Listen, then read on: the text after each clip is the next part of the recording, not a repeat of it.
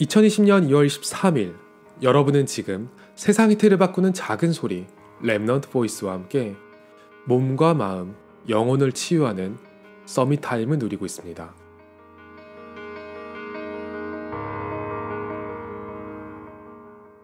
아마 기독교인이라고 하면 이런 질문을 해봤을 거예요.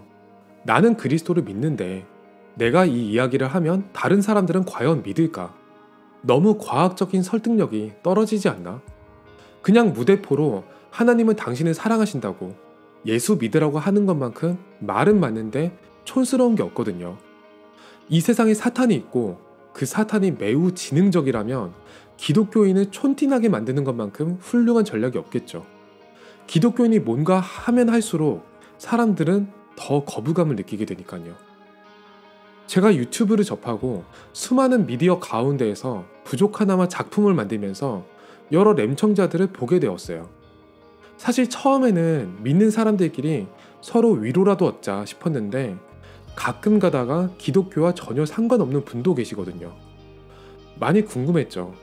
사실 믿는 사람들은 구원을 받은 거니까 하나님의 관심은 믿지 않는 분들에게 있을 것 같거든요. 이분들이 답을 찾고 싶은 건지 기독교를 비판할 꼬투리를 찾고 싶은 건지 아니면 그냥 매크로인지는 모르겠지만 믿든 믿지 않든 보편적으로 우리가 인정할 수밖에 없는 영적 가치는 무엇인지 질문을 해보게 되었어요. 제가 찾은 답은 치유였던 것 같아요. 4차 산업의 키워드가 정보라고 한다면 5차 산업은 치유라고 보거든요. 넘쳐나는 정보와 지식을 효율적으로 분류하고 가공하는 것이 4차 산업인데 정보라는 건 필연적으로 처리 속도가 증가할수록 생산 속도가 처리 속도를 기하급수적으로 넘어서게 되어 있어요.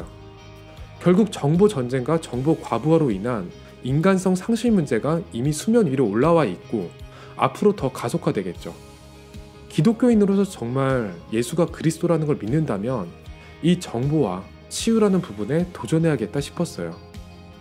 이 방송을 보는 분들이라면 따로 반응은 해주시지 않으셔도 좋아요. 다만 종교나 배경에 상관없이 반드시 오늘 치유를 얻는 시간이 되기를 소원합니다. 저는 제 삶에 밀려오는 수많은 더미 데이터를 하나님의 것으로 다시 돌려두는 시간을 가지면서 요즘에 힘을 많이 얻고 있거든요. 지금 제가 누리는 이 비밀이 여러분에게도 보편적으로 적용될 수 있는 건지 이 미디어를 통해서 함께 나누고자 합니다. 오늘이 여러분에게 치유의 시간, Summit Time이 되기를 소원합니다.